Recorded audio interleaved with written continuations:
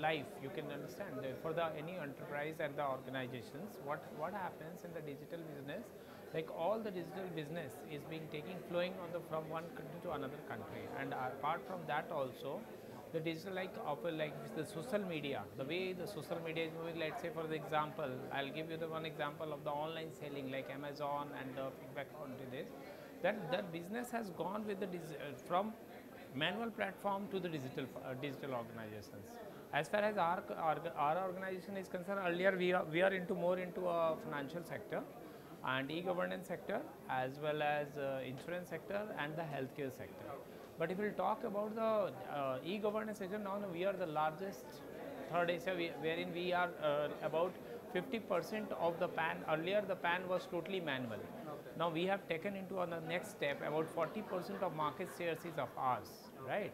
And through that it, it happens only with the digitizations and the digital formations only right?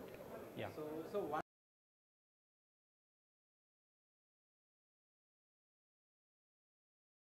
Well, I'll take this question like this. No doubt at all, the CIO is having a great role for the transformation of the digital organizations because there in all organizations there are most of people who is uh, still, if you'll talk about that, they are not very spec with the computer systems and all.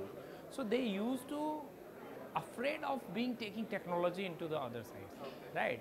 But as a young CIO, if they have their enterprise into this, if they will make that because the adaptability of technology is very difficult for the different companies, right?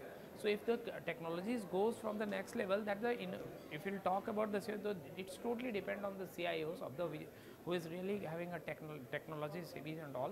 So they'll have a great role to transform from manual aspects to the digitization aspects. So I'll rather I'll say the, the CIO is, is a more responsible as well as they are uh, innovative to go to the next step for the organizations. okay.